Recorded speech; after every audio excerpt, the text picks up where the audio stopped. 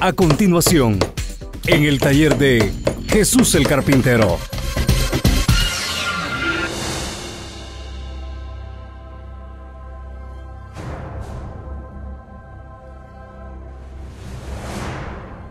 En estos momentos nos vamos a preparar para meditar en la palabra de Dios. Y le voy a invitar a que venga conmigo y que leamos un versículo de la Sagrada Escritura que se encuentra en el capítulo 2 de la carta a los hebreos y en el versículo 1. Así es que pongamos atención a lo que dice la palabra de Dios. En Hebreos capítulo 2, versículo 1, y voy a estar usando tres versiones de la palabra de Dios, en las cuales considero que se habla más claro, que va a ser más entendible para cada uno de nosotros. Así es que voy a empezar leyendo la Biblia Dios habla hoy.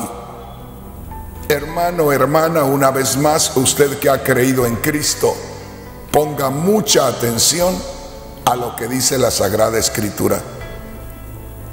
Por esta causa debemos prestar mucho más atención al mensaje que hemos oído para que no nos apartemos del camino. Una vez más, pongamos atención aquí a la palabra de Dios. En primer lugar, se está refiriendo a alguien, a un pueblo que ha creído en Cristo Jesús, a un pueblo que ya se considera hijo de Dios. Una vez más se lo voy a leer y le recuerdo, Dios tiene un mensaje en estos últimos días muy especialmente para su pueblo, para los creyentes, para aquellos que ya nos consideramos hijos de Dios. Para comenzar, le diré, el tema en esta hora le he titulado El gran peligro de alejarse de Dios. También quiero decirle, comenzando con el tema, que seguramente me voy a encontrar con muchos cristianos, los cuales están en contra de estos términos. Es decir, los cuales no consideran que después de haber creído en Cristo Jesús, que después de haberse convertido en hijos de Dios puedan tener algún peligro de terminar en camino equivocado. Yo no sé si estoy leyendo bien la palabra de Dios. Yo no sé si a poco estoy equivocando el mensaje del Señor. Pero a mí me parece aquí, Capítulo 2 y versículo 1, que el Espíritu Santo a través del escritor de la carta a los Hebreos está haciendo una recomendación, está exhortando al pueblo que ya conoce a Dios. Y dice, por esta causa, debemos prestar mucha más atención al mensaje que hemos oído.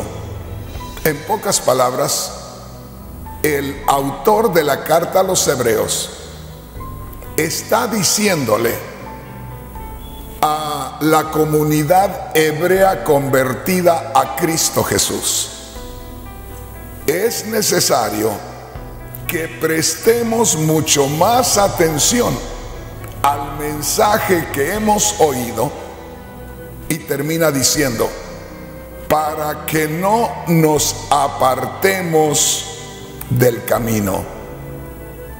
Aquí hay dos cosas muy importantes que tomar en cuenta. Y note que me voy muy despacio.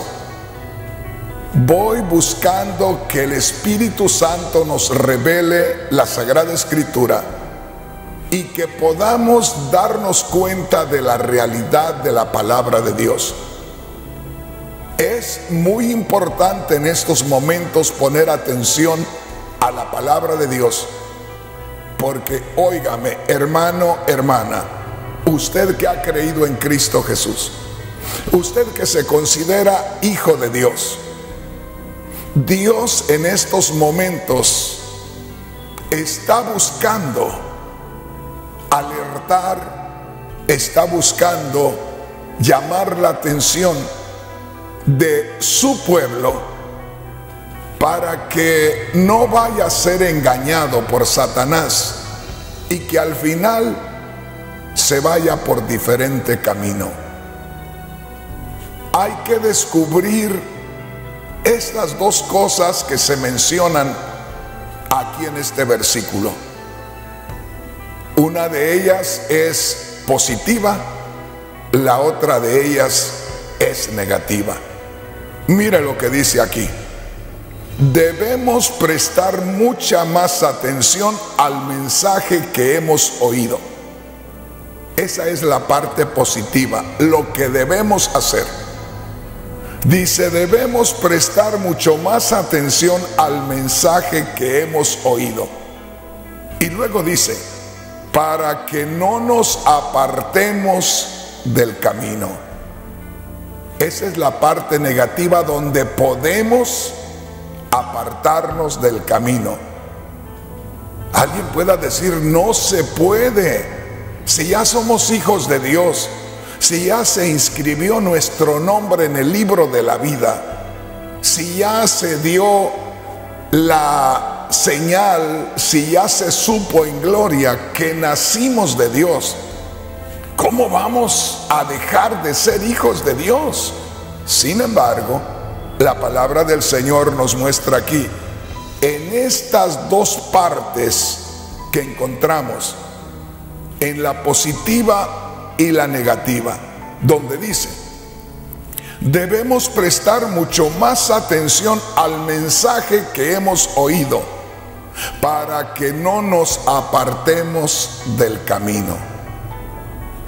Esto quiere decir, a mi entender, oiga bien, que si nosotros de pronto apartamos la mirada, ponemos poca atención al mensaje de Dios, a la palabra de Dios, a la dirección divina, podemos terminar por camino equivocado.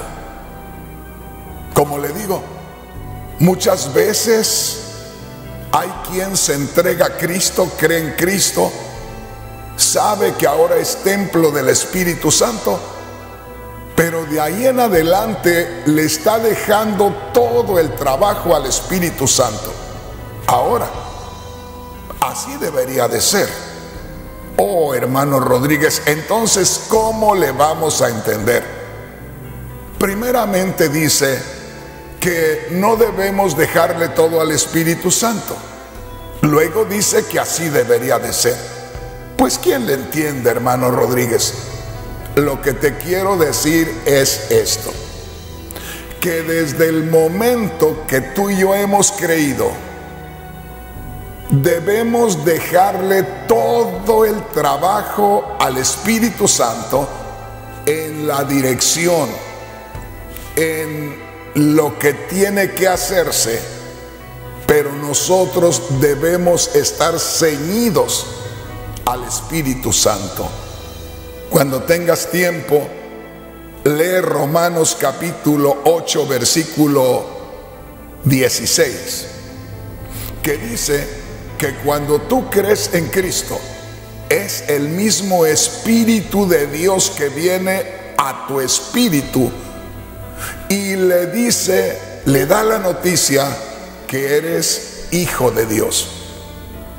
Pero en el versículo 15 dice que cuando el Espíritu viene a ti y te adopta como hijo de Dios, desde ese instante es el Espíritu Santo el que toma la iniciativa y la dirección de tu vida.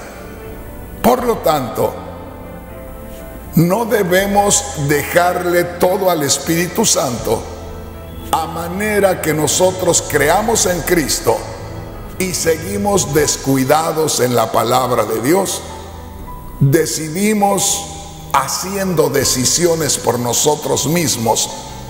Es decir, no estamos poniendo atención al Espíritu Santo y por lo tanto le estamos dejando a Él que haga todo sin cooperar nosotros, sin someternos a la voluntad del Espíritu Santo, cuando sabemos que el Espíritu Santo, según lo que le acabo de mencionar, Romanos 8, 15 y 16, hace morada en nosotros desde el momento que creemos en Cristo, y es quien debe tomar la iniciativa y la dirección de nuestra vida, pero tomando nuestro espíritu. A manera que nuestro espíritu debemos rendirlo al Espíritu Santo. Nuestra alma, nuestros sentimientos, nuestras emociones debemos rendirla al Espíritu Santo.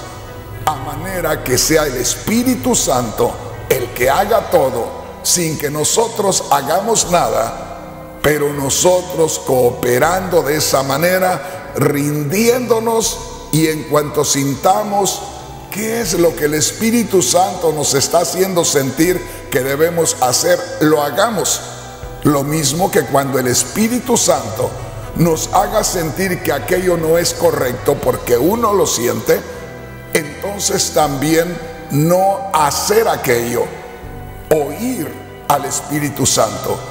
Y aquí claramente nos dice en el versículo 1 al principio, debemos prestar mucho más atención al mensaje que hemos oído. En otras palabras, se nos ha despertado espiritualmente de parte de Dios. Y así como se nos ha despertado espiritualmente de parte de Dios, es de parte de Dios de donde debemos tener la dirección para nuestra vida diaria. Entonces dice aquí, por esta causa debemos prestar mucho más atención al mensaje que hemos oído y termina diciendo, para que no nos apartemos del camino. Entonces queda claro que una persona que no presta atención al mensaje de Dios, a la voz de Dios, a la voluntad de Dios, puede terminar apartándose de los caminos de Dios. Por esta razón es que estoy leyendo en varias versiones de la Biblia o en varias Biblias que vienen de diferente persona. Cada persona que ha ido a los escritos originales ha traducido los escritos originales a nuestro idioma español. Y como cada persona tiene diferente nivel de conocimiento, de preparación académica, entonces cada persona puede darle o una ampliación para darnos a conocer lo que dice la palabra de Dios. O puede ser algo muy simple. Puede ser una palabra que esté un poquito, vamos a decir, dudosa entre los sinónimos de la palabra que nosotros leemos. Ojalá que me, entienda. Ojalá que me entienda. Lo que quiero decirle es que cada persona que ha ido a los escritos originales, si esta persona tiene un léxico muy amplio, si es una persona que tiene mucho estudio, va a buscar escoger las palabras que sean más conocidas para el oyente, para el que va a leer. De esa manera podemos nosotros tener una mejor perspectiva, podemos tener un mejor conocimiento de lo que se nos está buscando enseñar. Si no tiene tanto conocimiento intelectual o tanta preparación académica, es posible que escoja cualquier palabra que a poco no es muy conocida. En fin, vayamos a otra Biblia. Les acabo de leer la Biblia. Dios habla hoy. Veamos ahora la Biblia traducción en lenguaje actual. Recuerde, usted en ocasiones me mira en la televisión con mensajes tipo evangelístico como le conocemos en el medio pentecostés. Sin embargo, en estos momentos y en este tiempo, el Señor me ha enviado más que todo a formalizar al que escucha. En estos últimos años, el Señor me ha enviado a darle más forma a aquel que quiere formarse en el camino de Dios. En estos últimos años el Señor me ha enviado para que sirva de instrumento. Es el Señor hablando a cada corazón. Por eso usted va a ver que en nuestro logotipo últimamente aparece en el taller de Jesús el carpintero. Me dijo el Señor, adopta este título, adopta este nombre, porque en mucho tiempo anduviste corriendo por todos lados predicando salvación, nuevo nacimiento, bautismo del Espíritu Santo, y me dijo en estos años que restan, tienes que buscar crecimiento espiritual, madurez espiritual. Entonces, dice el Señor, vas a hacer el llamamiento a la gente al taller del carpintero. Y yo, dice el Señor, el carpintero, a través de ti voy a darle más forma a aquel que realmente me ama y quiere servirme de corazón. Dice así la palabra de Dios en la Biblia traducción en lenguaje actual, en la carta a los Hebreos capítulo 2 versículo 1. Por esto debemos poner más interés en el mensaje de la salvación que hemos oído, para no apartarnos del camino que Dios nos señala. Posiblemente usted diga, hermano Rodríguez, eso es lo mismo que usted nos leyó casi en la Biblia, Dios habla hoy. Pero me llamó la atención que esta Biblia, la Biblia traducción en lenguaje actual, antes de empezar a leer el capítulo 2, versículo 1 de Hebreos, aparece una inscripción en letra negra que dice, la salvación es importante. Y me llamó la atención esta inscripción que dice, la salvación es importante, porque precisamente de ahí hacia el verso 4 nos habla muy directamente de vivir de una cierta manera en la cual nosotros podamos asegurarnos que la salvación está en nosotros. Y dice que nosotros podemos tener problema que al no atender a la palabra de Dios, al descuidar la dirección divina, terminemos perdiendo una gran salvación, algo que jamás se había conocido hasta la venida de Cristo, algo que usted y yo ya recibimos, que no se compra con dinero, que no se gana con méritos personales y que usted y yo ya la tenemos y que precisamente por ignorar la palabra de Dios, muchas veces nosotros no le damos el valor que esta gran salvación merece. Me gustaría en estos momentos hacer algo. Y esto es, voy a estar leyendo algunos versículos de aquí de esta parte de la escritura de Hebreos capítulo 2. Y les voy a leer en la Biblia que casi todos tienen en estos momentos, que es la Biblia Reina Valera, que de todas maneras le vamos a entender bien, solo que a veces yo escojo otras Biblias para que podamos tener un poquito más amplio el entendimiento.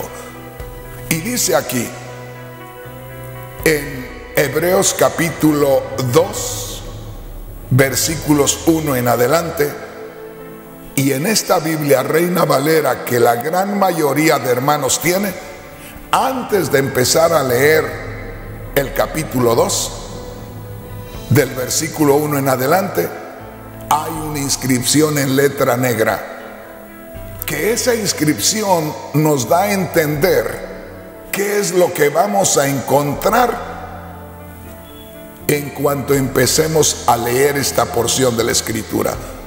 Y ahí dice, una salvación tan grande. Va a hacer referencia acerca de la salvación y la menciona como una salvación muy grande como un gran favor de Dios, como una gran bendición, en este caso, en el tema de hoy, que usted y yo la tenemos, ya es nuestra. Por lo tanto, algo tiene que ver con nuestra salvación. Y vamos a leer unos versículos y ahí nos vamos a dar a una idea y ahí nos vamos a dar una idea de lo que realmente Dios quiere decirnos aquí. Dice así, Hebreos capítulo 2, versículos 1 en adelante, en la Biblia Reina Valera revisada. Dice así, por tanto, es necesario que con más diligencia atendamos a las cosas que hemos oído, no sea que nos deslicemos. Porque si la palabra dicha por medio de los ángeles fue firme, y toda transgresión y desobediencia recibió justa retribución, ¿cómo escaparemos nosotros si descuidamos una salvación tan grande? Mire, esto está tremendo. Aquí habla de una gran salvación. Como le digo, una salvación que los que hemos creído en Cristo Jesús ya la tenemos, ya la recibimos, ya es nuestra. No nos costó nada. No pagamos por ello porque si se pudiera pagar, nadie la podría comprar. Es una salvación por gracia, por medio de la fe. Pero yo quisiera que usted, mi hermano, mi hermana, pusiera atención aquí. Que en la Biblia Reina Valera comienza con una inscripción en letra negra. Una salvación tan grande. Eso ya debe llamarnos la atención. Luego dice, por tanto, y aquí es donde yo comienzo, es necesario que con más diligencia, es es necesario que con más rapidez, es necesario que con más preocupación, es necesario que con más cuidado atendamos a las cosas que hemos oído. Es necesario que le demos la importancia que merece lo que recibimos de parte de Dios. Es necesario que tomemos en cuenta que lo que recibimos no es cualquier cosa. Es la misma vida de Dios. Es la misma vida eterna. Después que no la merecíamos por cuanto estábamos condenados porque estábamos en estado de condenación, pero Dios en Cristo Jesús limpia nuestros pecados, porque Cristo Jesús muere por nuestros pecados. Por lo tanto, el que cree en Cristo, sus pecados son removidos y el mismo Dios hace su entrada a él. Por lo tanto, si el mismo Dios hace su entrada a él, el mismo Dios quiere desde dentro de esa persona guiar a ese hombre, guiar a esa mujer en cuanto a su vida personal, en cuanto a su relación con Él y además quiere guiarle, quiere el mismo Dios moverse a través de esa persona para poder hacerle llegar su voluntad al resto de la humanidad para que hablando el mismo Dios a través de nosotros vaya esa influencia poderosa que hubo en Cristo Jesús, que las multitudes lo querían escuchar.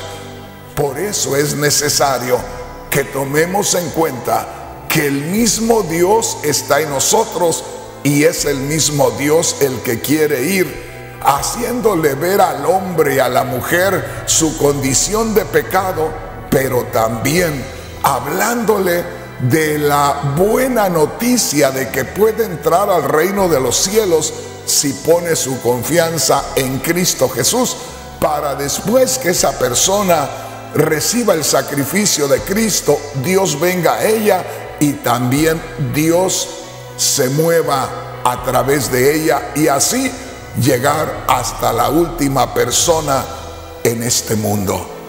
Entonces, recordemos aquí, usted que tiene la Biblia Reina Valera, vamos a recordar lo que dice aquí el versículo 1.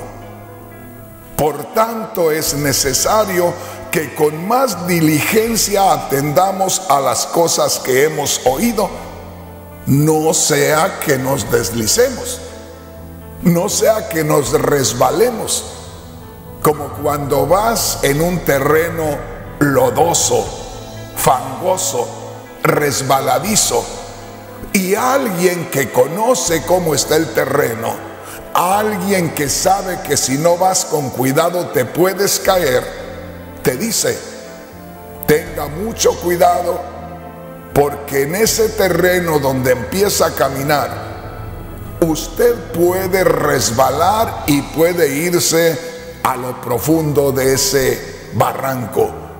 Por eso nos dice aquí el Espíritu Santo a través del autor de la carta a los hebreos.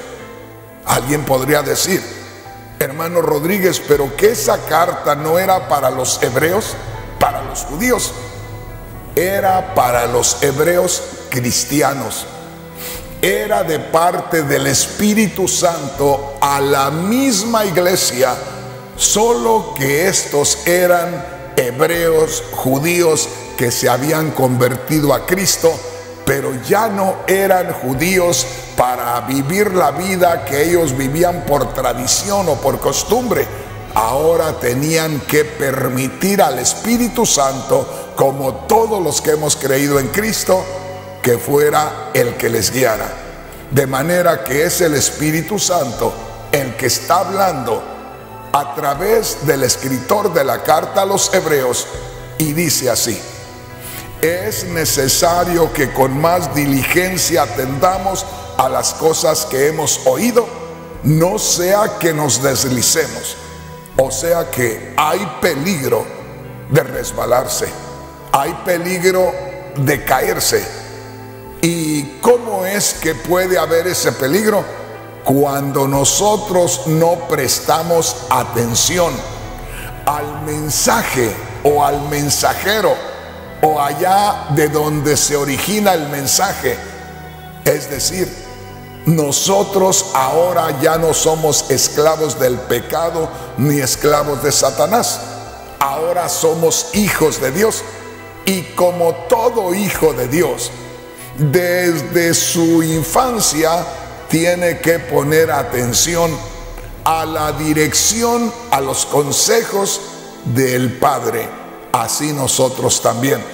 En estos momentos podemos descubrir en la palabra de Dios al mismo Dios hablando a través del instrumento que es el autor de la carta a los hebreos, el escritor de la carta a los hebreos, y nos está diciendo, es necesario, oiga, es necesario, es importante, deben hacer esto, que con más diligencia, que pongamos más atención, que tengamos más cuidado, que tomemos más en cuenta, atendamos a las cosas que hemos oído. En otras palabras, lo que hemos recibido debemos guardarlo. No como, no como cuando nosotros compramos una cosa que sabemos que es importante, que sabemos que es especial y que nos costó caro y venimos y la dejamos en cualquier lugar. Donde quiera la ponemos, en cualquier rato no sabemos ni dónde quedó. Y cuando la necesitamos no aparece por ningún lado. La dejamos donde quiera que en cualquier momento se cae y se rompe. Y ahí echamos a perder aquello que es tan importante. Cuando nosotros obtenemos algo muy especial, que es muy caro, siempre buscamos el lugar más seguro, el lugar donde menos peligre para golpearse, para dañarse, y sabemos dónde está y constantemente estamos revisando aquello. En otras palabras, es como un tesoro. ¿Y qué más tesoro que lo que dice la palabra de Dios? Esta salvación tan grande, grábese eso, grábese lo que está inscrito ahí en letras negras antes de empezar a leer. Yo soy una persona que siempre pongo atención en cualquier cosa. Y cuando empiezo a leer ahí, en Hebreos capítulo 2, me doy cuenta que antes de empezar a leer, ahí está la inscripción en letra negra que dice, una salvación tan grande. Para mí, esta es una advertencia tremenda de parte de Dios. Ya me está hablando, me está haciendo ver como con una lupa, engrandecer esta realidad. Una salvación tan grande. Has recibido una salvación tan grande. Tienes una salvación tan grande. No descuides una salvación tan grande. Porque una resbalada, una caída, hace que pierdas esa salvación tan grande. Y como le digo, lamentablemente una gran parte del cristianismo no lo cree así. Y como no lo cree así, por eso es que no pone uno tanta atención a las cosas espirituales. Porque no se les da el valor que tienen de parte de Dios. Porque vemos las cosas de Dios desde nuestra perspectiva, las vemos desde nuestra forma de ver las cosas. y nosotros jamás vamos a valorar las cosas espirituales de la manera como Dios las ve. Mire qué tremendo está esto. Una vez más, nos vamos a centrar en el versículo 1 y en el versículo o del versículo 1 hacia el versículo 3, que dice así. Por tanto, es necesario que con más diligencia atendamos a las cosas que hemos oído, no sea que nos deslicemos.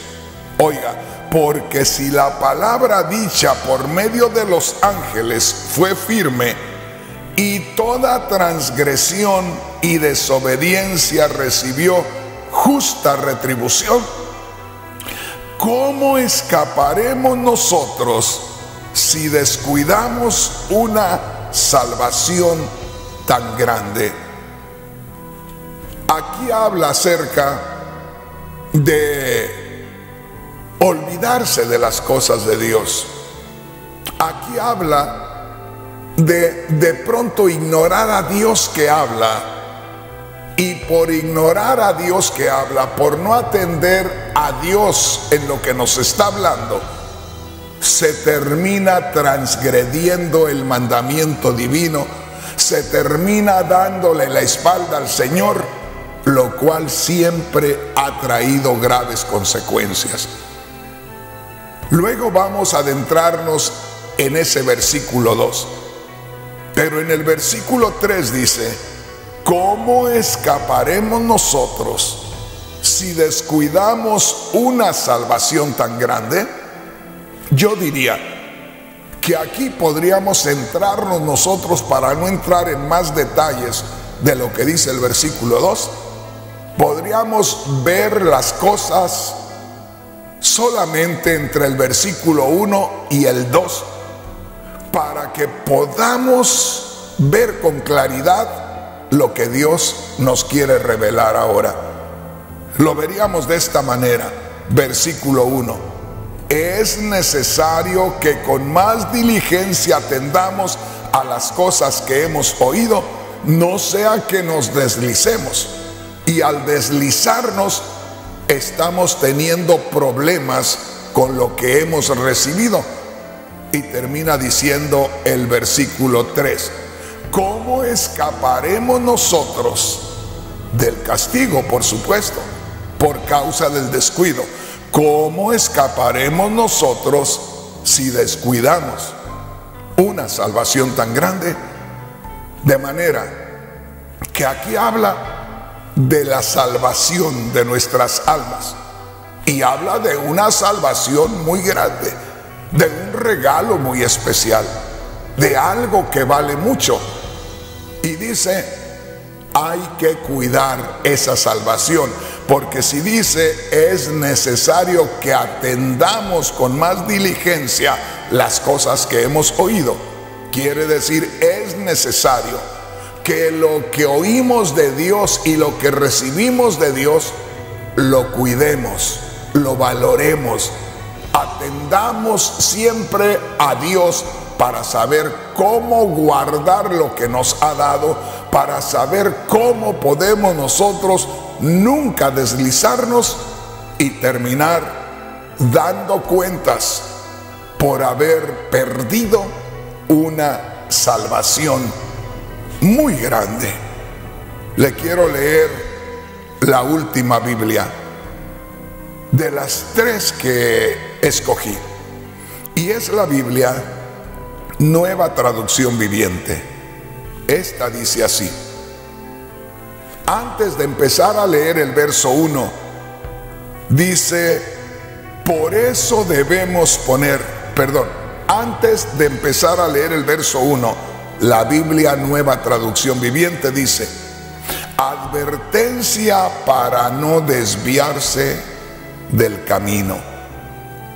Esta Biblia me parece que tiene algo todavía más fuerte en lo cual nos está exhortando el Señor aquí por medio de la Sagrada Escritura. Y aquí nos está diciendo algo muy importante, hermano, hermana. Ponga mucha atención a lo que nos dice aquí la palabra del Señor. Esto es en la Biblia nueva traducción viviente.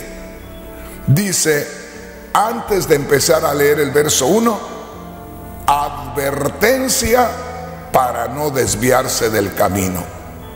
Note esto. Una advertencia de parte de Dios para que el hombre o la mujer que ha creído en Cristo y que ya anda en los caminos de Dios, no se vaya a desviar. Quiere decir que entonces hay peligro de desviarse del camino del Señor.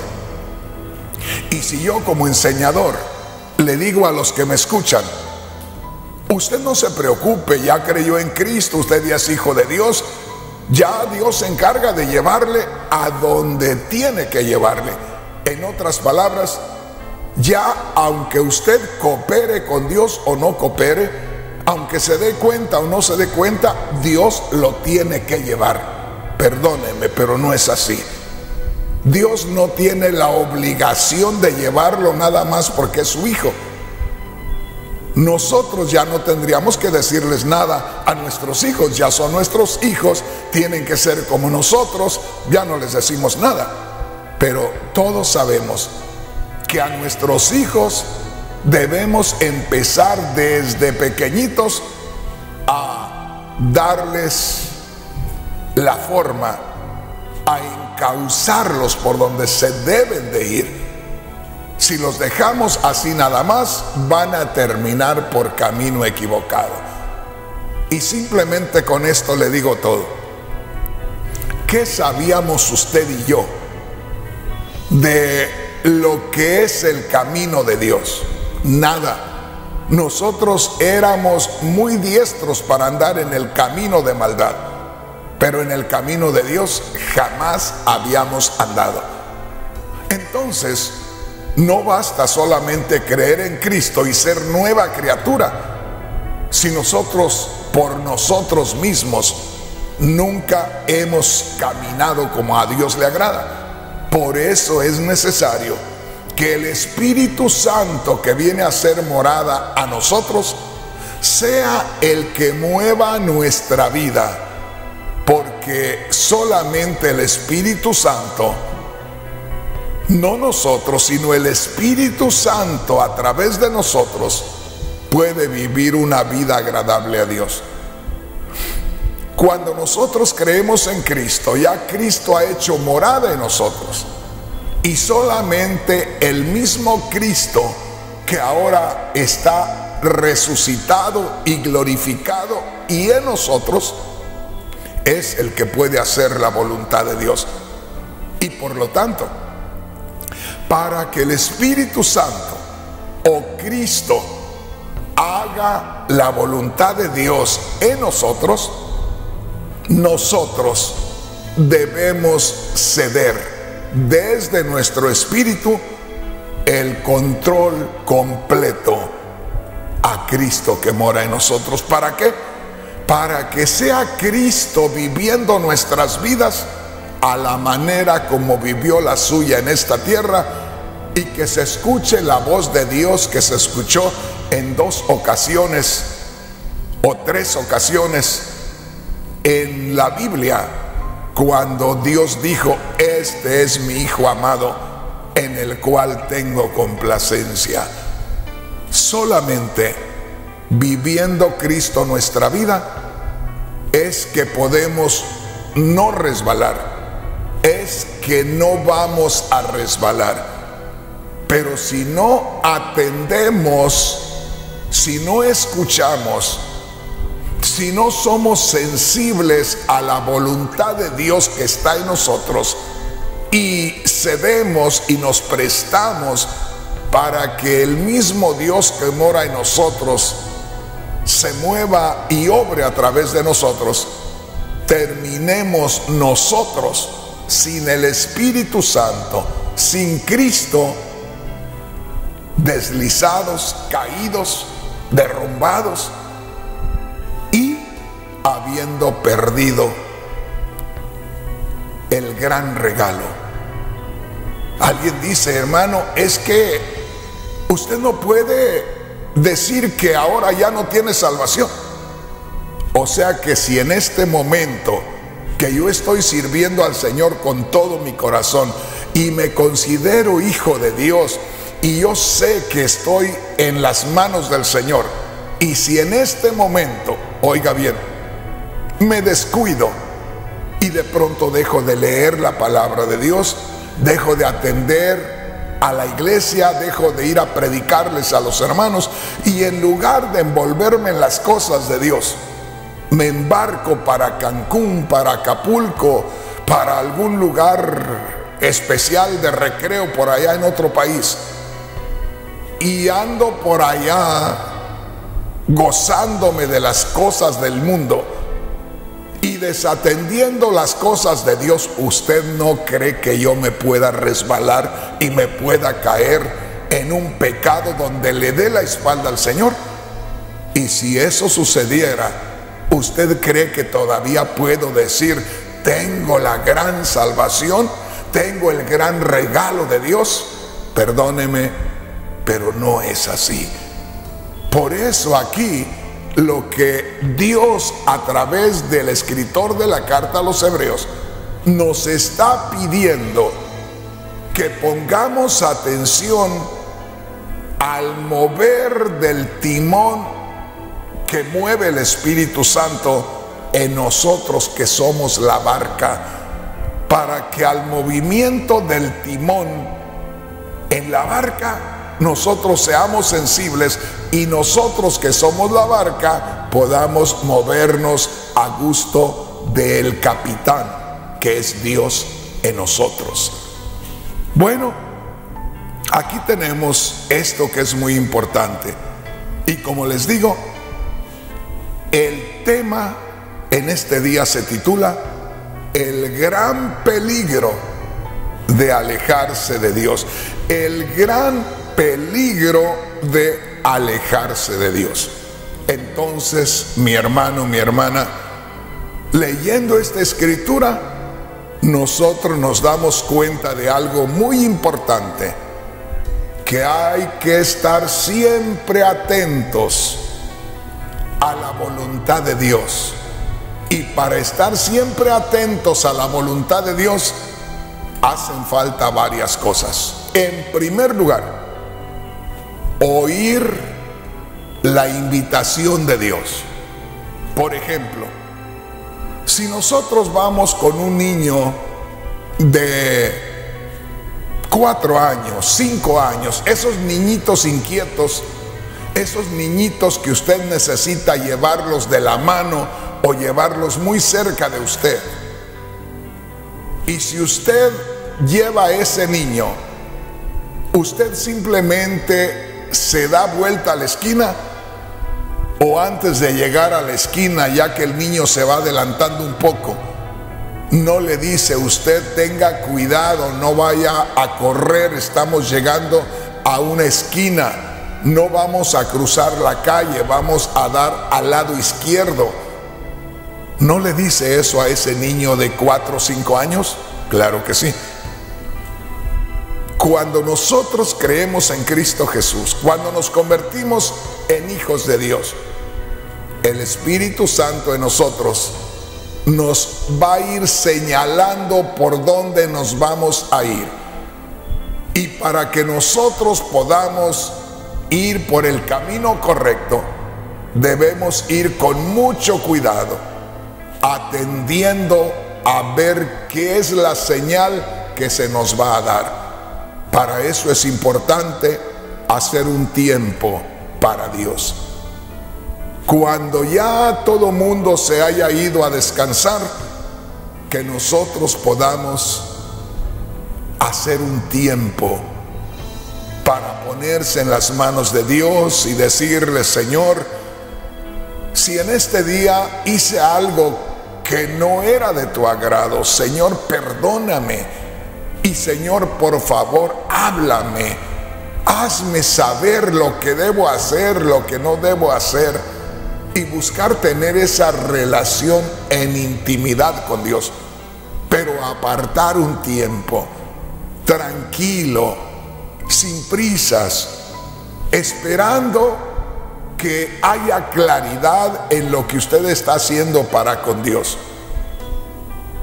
Haga un tiempo para hablar con Dios, para meditar en Dios y haga un tiempo para leer la palabra de Dios. Y haga tiempo para no faltar a los servicios en la iglesia donde se acompaña a uno del pueblo de Dios, de la familia de Dios, donde hay un ambiente de familia que aunque es humana, pero tiene una representación de familia celestial. Y ahí entre familia de Dios, cantarle a Dios, escuchar la palabra de Dios, al final orar a Dios todos juntos y si se puede tener un tiempo ahí entre hermanos para platicar, para convivir como familia de Dios. Si no se tiene aquello, déjeme decirle, tenga la plena seguridad que aunque usted se haya convertido bien, se va a resbalar, se va a deslizar. Por eso dice, es necesario que con más rapidez, con más prontitud, atendamos a las cosas que hemos oído. No vaya a ser que nos deslicemos. Entonces, mi hermano, mi hermana, aquí tenemos una exhortación, aquí tenemos una llamada de atención de parte de Dios que le hace a una congregación la cual se descuidaba de la relación íntima con Dios. Mire qué maravilla, que hace casi dos mil años haya habido una congregación allá al principio del cristianismo, la cual estaba descuidando una salvación tan grande y que Dios haya querido que este personaje, el autor, el escritor de la carta a los hebreos, mandara enviar esta carta y que esta carta se quedara como un ejemplo para nosotros, para que no caigamos en tal error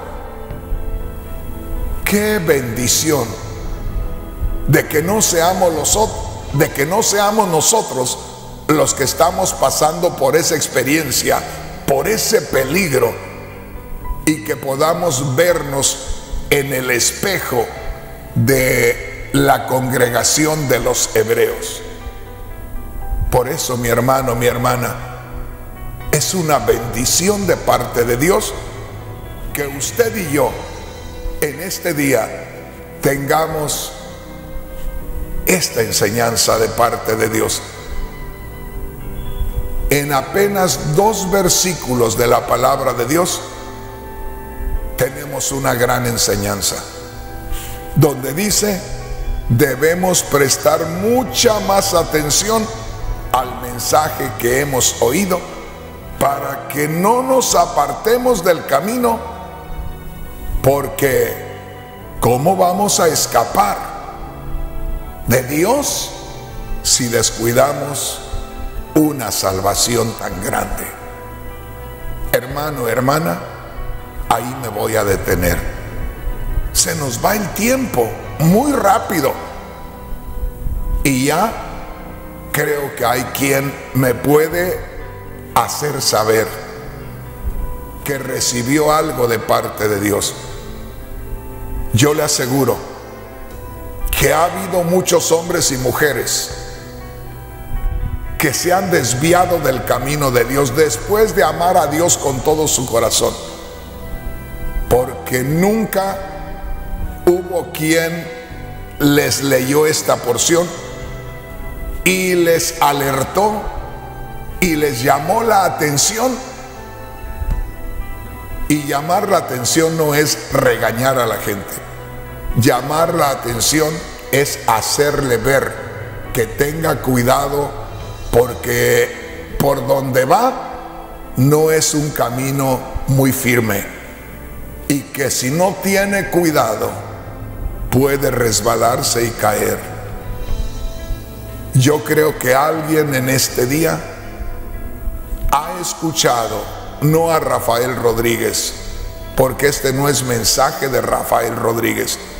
Rafael Rodríguez es el medio, es el instrumento a través del cual Dios mismo llega a ti.